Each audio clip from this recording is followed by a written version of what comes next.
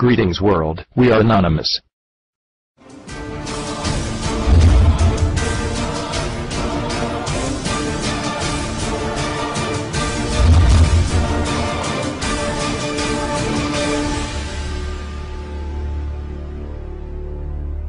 The continuing campaigns for internet censoring litigation such as SOPA, PIPA, and ACTA, and the closure of sites such as Megaupload under allegations of piracy and conspiracy the time has come to take a stand against music, film, and media companies' lobbyists.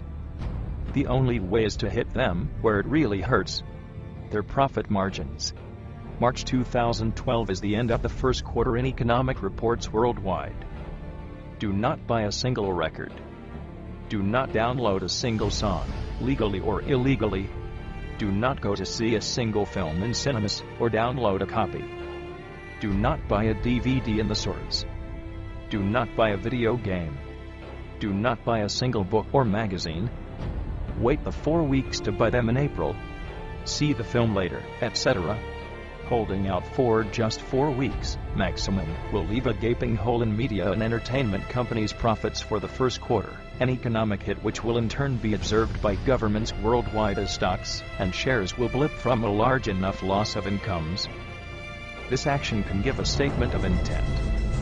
We will not tolerate the media industry's lobbying for legislation which will censor the internet. We are anonymous. We are legion. We do not forgive. We do not forget. Operation Black March, in coordination with Operations Blackout and Operation Revenge. Engaged. To all who belittle us, expect us,